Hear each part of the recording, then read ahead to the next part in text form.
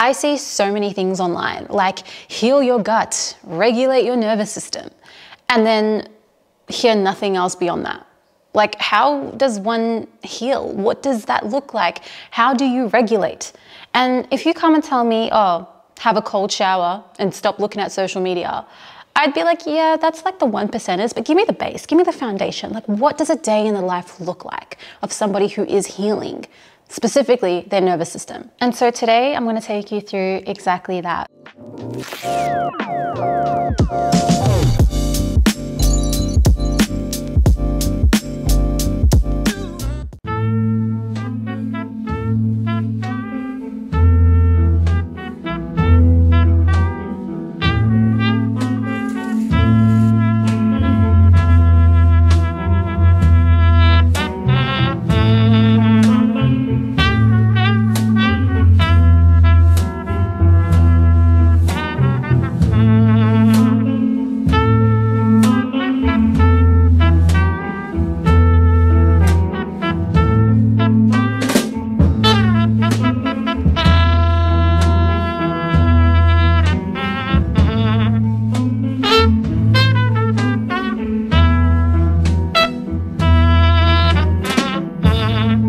Morning and welcome to a day in the life of a girl just trying to heal her nervous system.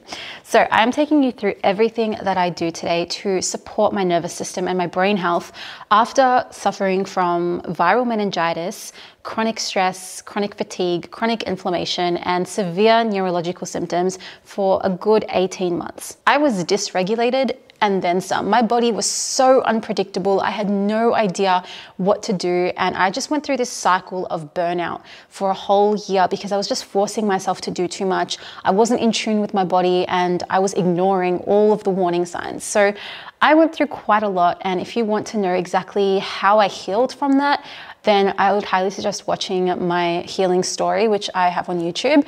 But today I'm going to walk you through a day in the life of like how I maintain that. It's been about I'm gonna say six months. Yeah, it's been six months since I finally healed. And the thing about healing is it's never a job that's done, it's something that you've got to maintain for life. So today is just one of many days of prioritizing my healing and my health. So you would have just seen my morning routine, which was really cute and small and humble, nothing crazy, okay? No cold showers or anything like that. It was literally just waking up, doing my bed, getting ready, and doing a bit of journaling, reading my Bible, and starting my day. Just off the bat, before we get into how I eat, how I train, how I work, how I go about my day, how I stay mindful, before all of that, let's cover off the most important part of regulating your nervous system your environment. The reason people have dysregulated nervous systems is nine times out of 10 because of their environment. It is either being in a super overstimulated environment, whether it be your office or your home, or maybe just the way that you live your life. Maybe you're a party girl or guy. Maybe you like to live life on the edge and you don't really have a routine. That is overstimulation. What about the people you live with? Your family, are your parents constantly fighting? Are your housemates dirty and inconsiderate and make you feel on edge all the time? Are you in an unsafe relationship where you're being emotionally or physically abused? You cannot begin healing until you remove yourself from what caused the dysregulation in the first place. And so, everything that I'm going to show you today is how to live a life that encourages and promotes the healing of your nervous system and promotes brain health, but you have to first remove yourself from the unsafe situation or the overstimulating environment that you're in. So, if that means leaving your partner, moving out of your family home, getting an apartment on your own, um, quitting that job, I think that's the first place that you need to look. Let's go ahead and start my day, starting with the most important part breakfast. So, let's head into the kitchen. My breakfast is dinner foods. Okay, I literally have been eating leftover dinner for breakfast for a good like eight months now, and I ain't about to stop. So, we've got some beef steaks here. Now, usually I'd have leftovers, but um, it's a Friday morning, I have no food left, so I had to pick these up from the store last night. And um, look at this. Like, you can just see the quality in grass fed, no hormone added beef, and even though it cost me an arm and a leg because I didn't buy it online like I usually do, um, worth it. So I've marinated it in some salt, pepper, bit of nutmeg, if you know, you know, and um, a little bit of citric acid. So I'm gonna cook this with garlic, butter, and rosemary. And then I'm gonna make some mushrooms um, with a little bit of sauce. And um, hot tip, if you are on your healing journey and struggling with a dysregulated nervous system, please, please do not have coffee on an empty stomach. Combine your coffee with food so that you can stunt that cortisol spike and um, prevent the anxiety attack that you're probably going to induce. Um, I used to have coffee on an empty stomach and wonder why I was shaking like a leaf. Anyway, let's start. All right, time to switch this fan on, the sensory overload. Ugh. Anyway, um, when I was doing carnivore, I was intermittent fasting, and I'd probably say that's the worst thing you can do. Like, it's really important that you eat first thing in the morning so that you have a constant stream of energy. I mean, if you think about it, your energy stores are empty. Like, you've got no glycogen left in the morning um, after your liver has filtered through it all. So it's really, really important that you get that energy that your body needs whilst you're healing. Oh, satisfying. Beautiful. Lovely. Um, yeah, so eat first thing in the morning because being in a fasted state when you're already trying to heal just adds to the stress. You know what I mean? Let's mix this up. Oh, yum. I'll show you what it looks like. Just gonna wait for everything to get nice and brown. I've got some scotch here and some eye fillet. Mm. So most of my diet, I'm gonna say maybe like 75%, comes from grass-fed meats, grass-fed butter, um, animal products, rice, potatoes, vegetables, fruit. That's pretty much it. Now I know that may seem very limiting, but I have been eating like this for so long and I don't know, I just feel like when you eat seasonally and you switch it up and you learn how to make different recipes, it actually never gets old, especially when you feel good, you know? My fingers are burning, but at least my meat ain't good in there. Sizzle, baby, sizzle. So yeah, I really try to avoid wheat, like gluten, um, refined sugars, especially seed oils. I think seed oils is probably the biggest one uh, because they are pro-inflammatory. And when you're trying to put your body in a state of healing, being in an anti-inflammatory state is the most important thing. I have a whole video, actually I think I have two, on like why these foods are pro-inflammatory and how it affects the gut and therefore the body and how it leads to a state of stress and inflammation. So I'll link those in the description box if you want to get more of the science behind it. But um, yeah, I think number one, honestly, is your nutrition. Your nutrition is so, so, so important. And of course, supplements come in under that as well. But if you're not eating this kind of shit on the regular, no amount of supplements or, you know, having coffee with food or having a low dopamine morning is going to help you. Like nutrition is what you are. Your nutrition is either going to add fuel to that fire or it is going to help calm that inflammation down. Let's see how these are going. Yeah. All right, I think our meat is done. I'm Just gonna throw them on here. This is the moment of truth.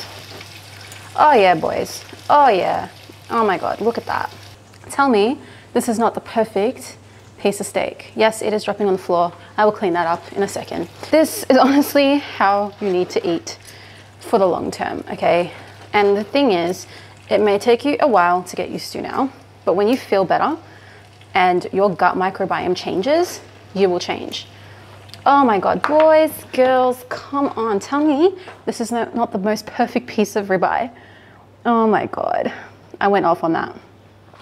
When your gut microbiome changes, your preferences and your cravings will change as well. So my best advice to you is to literally just stick to a predominantly meat-based diet, animal-based diet, and watch your taste buds change. That meat is beautiful. So I'm gonna move on to the mushroom sauce. My diet recommendations for you are a high fat diet. Um, not necessarily saying low carb, and I'm not saying any kind of fat. Like I don't wanna see y'all eating a bunch of Biscoff and peanut butter, okay? We want high quality fats. You really want the fats from meat. They contain so many vitamins. You've got vitamin A, vitamin K, folate. All of those fat soluble vitamins that you need are going to be found in the fatty parts of meat. So I wouldn't even suggest getting lean cuts of steak. Get fatty pieces of steak. Like this is the shit that you want right here. This, you've got to eat this part. I'm gonna add some milk to this. This is organic, so it has no pesticides, no added hormones or anything. I'm gonna go ahead and add some corn flour. This is organic from Macro, uh, the brand. Mix in some milk. Oh my God, that went flying. And um, it's going to be a really nice substitute for cream and all the other stuff they put in those mushroom sauces that ain't so good for you. So I'm just gonna give that a mix. Like, dude, I'm literally making a gourmet style meal of just mashed potato, high quality steak, mushroom sauce. Tell me that you can't enjoy eating healthy. I probably spend about $200, $250 a week on food but it is so worth it to me. And I don't even buy organic produce because I think that's a little bit too expensive for me. I literally just wash all of my produce in vinegar because that gets rid of the outer coating of pesticides, which, especially if you're in America, you want to do. Um, in Australia, the pesticide situation isn't too bad. It is kind of bad with some fruits and vegetables like apples, um, grapes, um, you know, spinach, kale, things like that are higher in pesticide content. So those are the things I'd probably buy organic. But if you're not sure whether to prioritize organic produce or a high quality meat source, I would go with the meat because that's where most of your nutrition is going to come from. I mean, the soil that all of these um, fruits and vegetables are grown from are so low in vitamins compared to what it used to be 100 years ago you know? And there are ways that you can clean your produce like i said with vinegar. But with meat the antibiotics are pumped into the animal. The hormones are pumped in. You know if they're grain fed their whole lives before it gets to the table that's nothing that you can really change and again this is the most nutrient dense part of your diet. So that's why I'd prioritize it. I buy my meats in bulk online from Midwest Meats if you're in Victoria. Um, and it comes down to maybe like $100 a week, which to me isn't too bad as a very, very big meat eater. I think that's actually quite affordable. All right, this mushroom sauce is looking good, my friends. Looking good. I think it's actually almost cooked. This mushroom sauce goes off. This is the mashed potato. So I made this with the organic milk and grass-fed butter. Before I plate up, let's talk about gluten-free products. Let me tell you something. Let me tell you something. Okay, gluten-free bread. I personally am not a fan. I would much rather you just make your own homemade sourdough with good quality ingredients. And I'll tell you what, let me just read out the ingredients list for you. Um, this is the Helga's gluten-free bread. Not only does it cost an arm and a leg, this is what you're getting. You're getting wholemeal rice flour, modified tapioca starch, maize starch, potato starch, soy flour, all of which are sprayed like their mum's life was dependent on it with all of these pesticides. Okay, then you've got canola oil. So wait, I'm trying to eat gluten-free to avoid the inflammation it causes by adding in the seed oils that also cause inflammation. Make it make sense, my G. Sugar, egg white uh, powder, thickeners 464 and 412. So just because something is marketed as gluten-free doesn't make it healthy for you. It tastes kind of like ass, it's overpriced, like double the price of normal bread, which in these conditions with inflation inflating the way that it is inflating, it's not worth it. Um, Sourdough bread is a great alternative. Yes, it has gluten, but it's a much lower content of gluten. And, you know, if you really, really must have the bread, just have sourdough. Make it yourself, most importantly, or buy a high quality brand that doesn't have all of these toxic ass ingredients in them. Um, but my suggestion to you is just go cold turkey for three months. Just don't have any gluten for three months, and then you can slowly re-add it back into your diet. When you are already healed, your body can handle small amounts of pro-inflammatory foods, okay? But when your body is really inflamed and needs to heal, just take the L. The bread ain't going nowhere, okay? Anyway, let's go plate up. I'm hungry. And here we have it, boys. This is breakfast. Are you fucking serious? Are you kidding me? Who said healthy eating cannot be enjoyable? This is a $100 plate right here. Okay, first bite. Mmm. coffee. Cheers. And the combo, it just works. Yes, coffee and meat for breakfast, okay? I'm starting a cult. Tell me if you want to join. Honestly, I was saying this is a $100 plate. I think it's more like a $150 plate. Um, anyway, I'm gonna take my morning supplements along with this meal. Okay, so I brought my bottles out to show you what my morning stack is. First up, phosphatidylserine. Now, if you have brain health, nervous system problems, and you're not taking phosphatidylserine, I put you on today. So phosphatidylserine is a very good nutrient for your nervous system and it works on the myelin sheath, which is the fatty layer or coating of the nerve that helps with conduction. So it helps you to basically react faster. It helps neural connections. And um, if you are ever on the verge of a panic attack, take this take like a double dose, triple dose, and tell me your panic attack does not subside. Um, my mom put me onto this because panic attacks run in the family, and um, this has saved me time and time again. I feel like I'm faster when I take this. My cognitive health is sharper, and again, it really helps with that panic and anxiety, which is a very common symptom of nervous system dysregulation. Next up, I take vitamin B, I take a complex, and then in the second half of my cycle, so during my luteal phase, I take B6, okay? So this is more so for female health. Um, B6 is really good to help with PMS symptoms, but also just a B vitamin in general for energy, productivity, overall vitality. Um, I also take zinc, but I take that first thing in the morning, so about an hour before I eat, because it's best had on an empty stomach. Um, then next is trans resveratrol. This is also another really good brain supplement. I don't know if it's, I think I have to do that thing. Oh, it actually works. Oh, I thought it was just for the makeup girlies. so trans trans trans resveratrol resveratrol is really good because it's a brain antioxidant. So you may have heard of like NAC or glutathione, which are really good organ antioxidants, but this is specific for the brain, so it crosses the blood-brain barrier. Although I also do take NAC, NAC. Okay, so come on, bitch no, it's not happening. I think there's too much white going on. Um, but yeah, NAC is also really good to help with detoxifying the body um, and just reducing oxidative stress, which is so important on the topic of healing and reducing inflammation. Um, I also take vitamin D because it is gloomy as hell. We are officially in the middle of winter.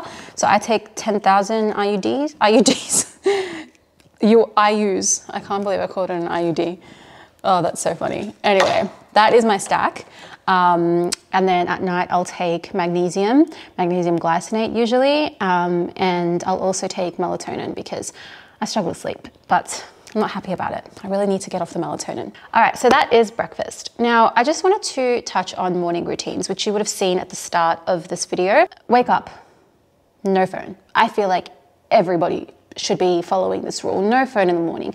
And not just because of its mental health effects. Like you wake up, you see what everyone's been doing last night while you were like stuck on TikTok, and then you get this comparison syndrome, and then you just feel drained because you've just spent the last hour scrolling in bed. You have no motivation to actually start your day and get at it. Um, that's one part of it, huge part. It fucks up with your dopamine. But another part of it is it is so overstimulating, okay? when you're trying to heal your nervous system, you don't want to be up and down, you don't want to be irregulated. So you really want to make sure that you are centered. You are calm, you are zen. It puts you in a state of stress. And just like having coffee with your food is important to reduce that cortisol spike and to help you feel calibrated, so is not going on your phone in the morning. So that's the first thing. The second thing I think goes without saying, and that is to wake up at the same time every day and sleep at the same time every day. One of the biggest things about a regulated nervous system is having a regulated circadian rhythm, okay? So your circadian rhythm is like your internal clock, okay? It tells your body when to release serotonin, when to release melatonin, when to put you or shift you from sympathetic to parasympathetic, which is like fight, flight to rest, digest. And messing around with that by having no routine and no structure whatsoever is probably one of the worst things you can do for your nervous system. There needs to be a level of predictability. And look, to set your expectations when you start this healing journey, life is going to get really fucking boring. Take it from me, all right? I'm not gonna sit here and sugarcoat it. Like, yes, I'm a healing baddie, I'm living the soft life. No, bitch, it's boring. Okay, you're gonna be waking up at the same time every day, saying no to late night plans, eating meat for breakfast, although I actually don't think that's boring. Um, some people may, okay? And I think the biggest part of the boredom is that predictability that I was just talking about. You want to create an environment and a routine that is very predictable, very zen. And part of that is just embracing the boredom that comes with it.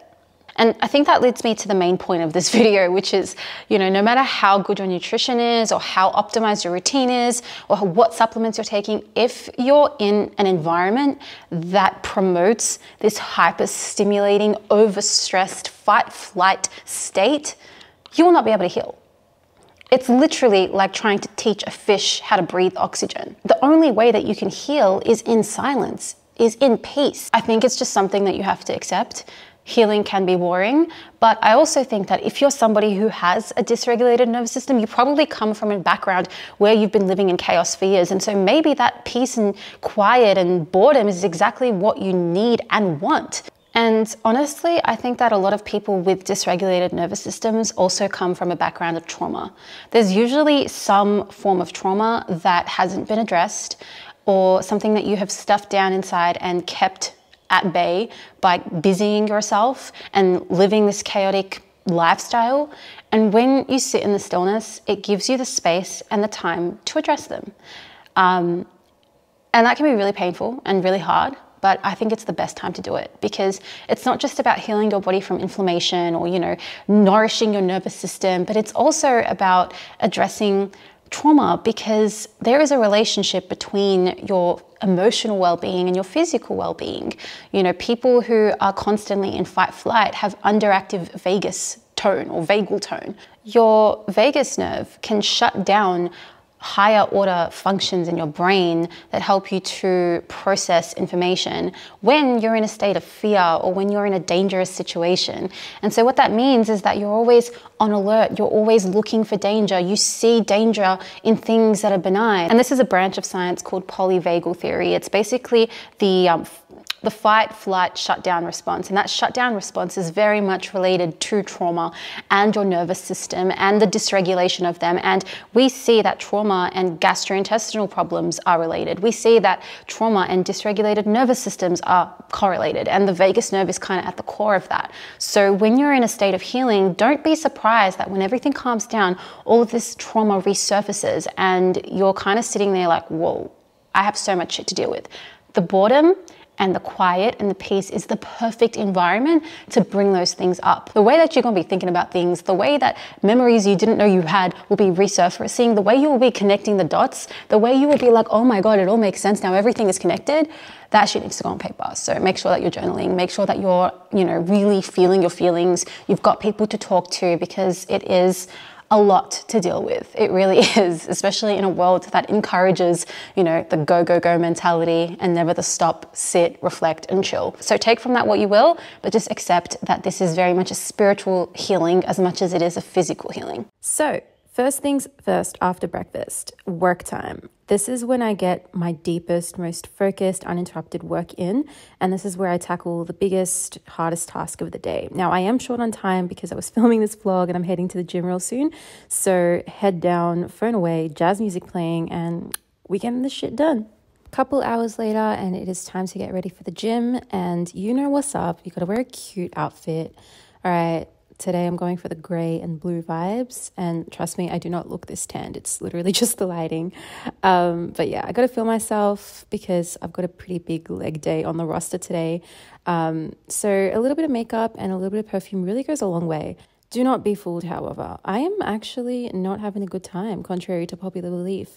I don't know if I'm like the only girl on this planet that does not enjoy the process of putting on makeup, minus lip gloss. Okay, I am always here for a good lip moment.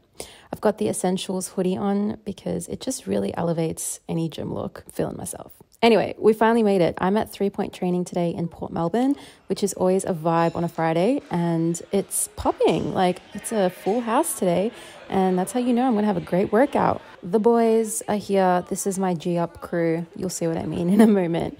Um, this is a pretty powerlifting heavy gym. I feel like I'm the only one here that trains for hypertrophy. Anyway, first up on the roster are pendulums. So I'm gonna let you hear the background noise just so you can see what I'm dealing with.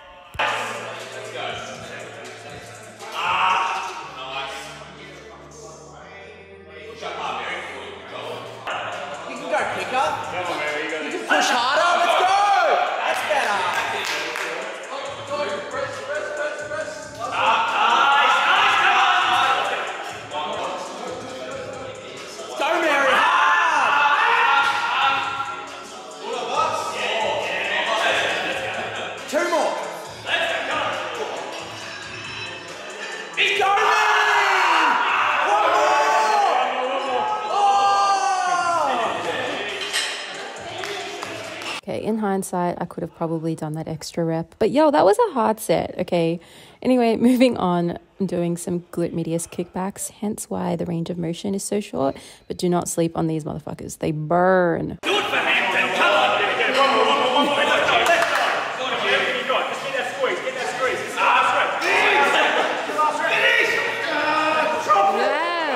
A cable step up. Yo, I am one of many people who have slept on this exercise. It's really good for targeting the glutes without overly fatiguing you. And I want to talk about my exercise selection very, very soon. But as you can see, the reps start to get a little bit sloppy towards the end, which is just a sign that I'm tiring out, you know, which is what you want. That was a pretty shitty but hard last rep. But I got approval from the boys, so we good.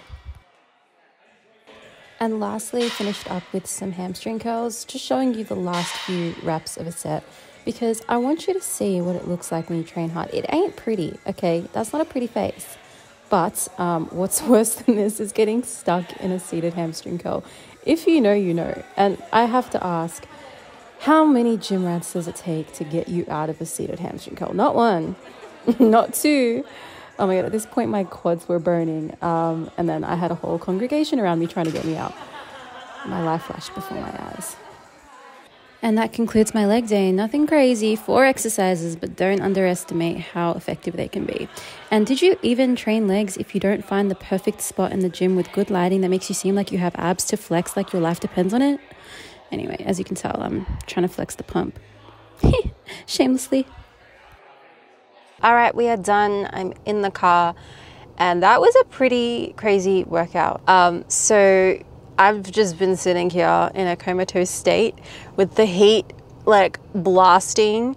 Um, I also took some phosphatidylserine. I always have phosphatidylserine with me because little fun fact for you. If you have done a really intense workout or you've been exposed to a lot of cold um, or wind or both, your nervous system is really susceptible to that. And so a combination of heat and phosphatidylserine works wonders to just replenish and calm the nervous system down again. Before and after you train, take phosphatidylserine. Um, and if you're feeling like your nerves are on edge or if you're feeling like pretty fried after a workout, just get a big bout of heat. Sometimes I sit in the sauna, the infrared sauna after I train because my gym has one, um, which is so, so beneficial, not just for your nervous system, but just for overall health reasons. So if you have access to a sauna, please get in. That is a hot tip from my mum to you, because she's the one that really put me onto this.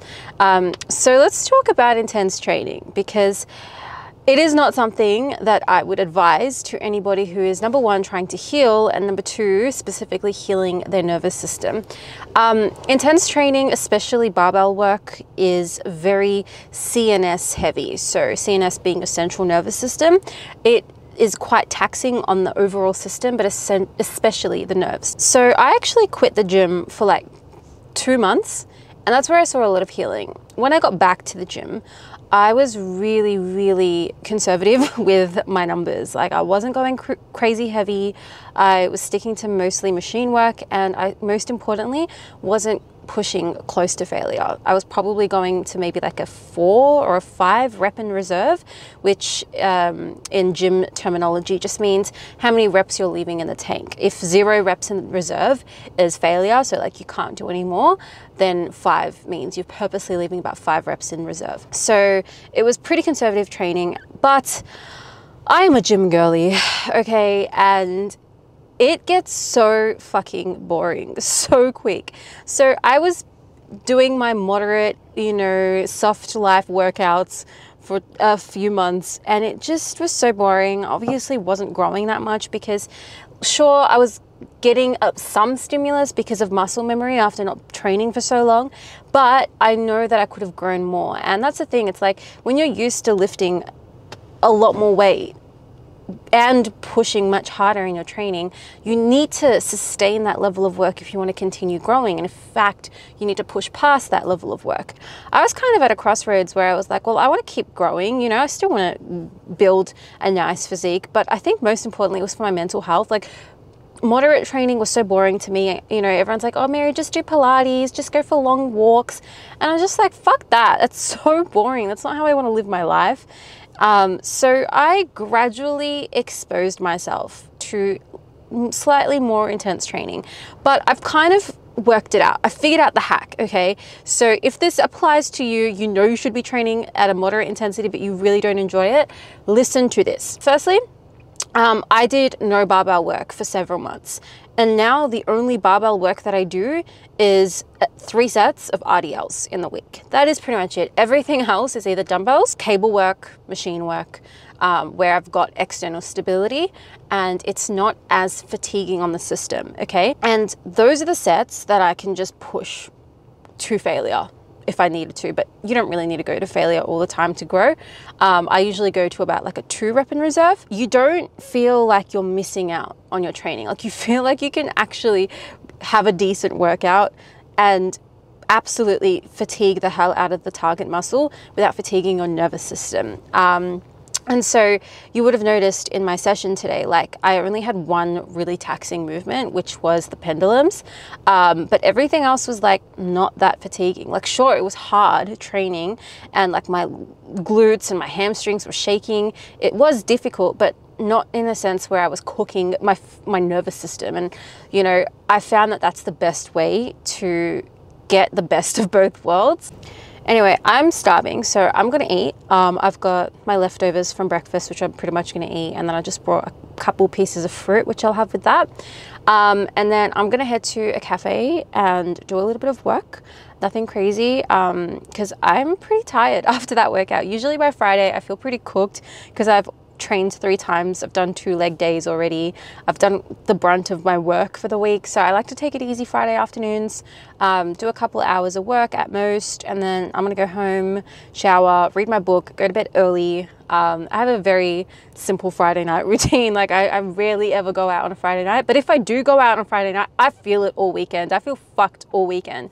So I really just like to take Friday nights to just rest, sleep a lot, and um, that way I can kind of reset and actually enjoy my weekend instead of spending my weekend in bed recovering. So I'm gonna leave it there. Thank you for joining my day in the life. I hope you got some practical, useful tips um, so you actually know how to heal your nervous system, like step one, step two, step three, and all of these little biohacking um, helpful suggestions as well because I don't feel like it gets talked about enough. I don't feel like the nervous system in general is an, a, a topic that we are well versed on.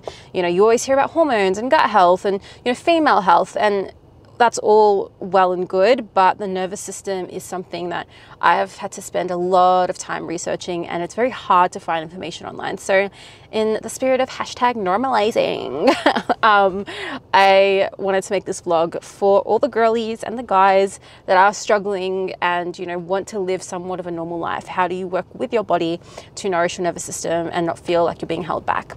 Anyways, I'll see y'all in the next video. Have a great motherfucking day. Bye.